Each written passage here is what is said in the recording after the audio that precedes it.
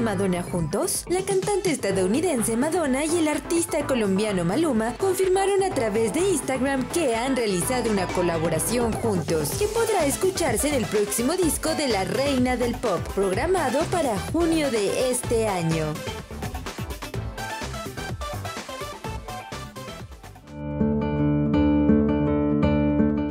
Lovato volvió a recaer en las adicciones. Hace unos meses estuvo al borde de perder la vida a causa de una sobredosis, la razón por la cual su familia optó por internarla en una clínica de rehabilitación. Fue precisamente en julio del año pasado que la joven cantante vivió el trágico episodio. Hasta el momento, solo se sabe que esta semana la cantante volvió a ingresar a un centro de rehabilitación y de esta manera continúa su lucha contra la adicción a las drogas en Hawái.